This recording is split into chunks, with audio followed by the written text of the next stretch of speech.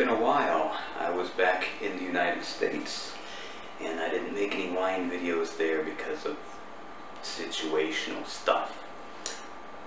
Here I am in my brand new apartment in Taiwan where I'll be for the next year and a couple months. And of course, the first thing I do is buy Taiwanese wine. Uh, I read some reviews about this because I wanted to make sure that this was actually made and grown in Taiwan, and apparently it is. It's marketed and distributed by the Taiwan Tobacco and Liquor Corporation. Uh, it's called Ilha Formosa, uh, Portuguese name of the island, that's what they called this island. And it's a Cabernet Sauvignon Merlot blend. Let's try it.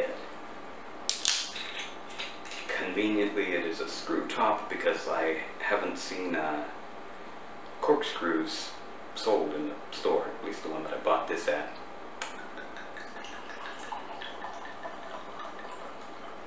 Okay. It's 12%, so it's not highly alcoholic.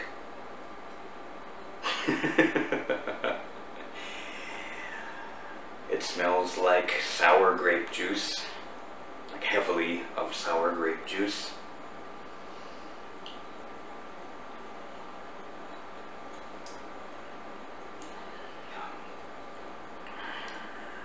Yeah, this is one of those mini red wines uh, that is, I suppose, if they're doing it on purpose, made for uh,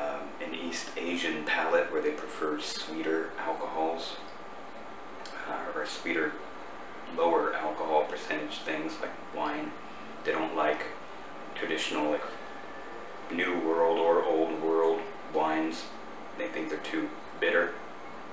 And this is sweet and it tastes like it's made with Concord grapes like is also common in like the uh, wines that I tried in Indonesia and Thailand.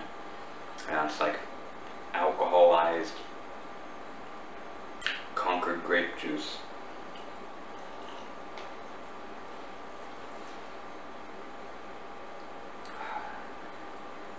There's nothing to it at all except sweet grape juice with alcohol added. Not even sure it was made in the traditional way. It's like they added some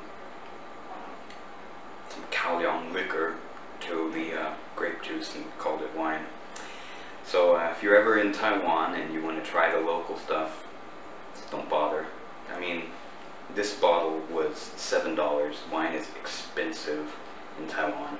$7 for this bottle. And for $10 I could get a mm, cheap American wine that would be much better, honestly. So, Ilha Formosa, shit.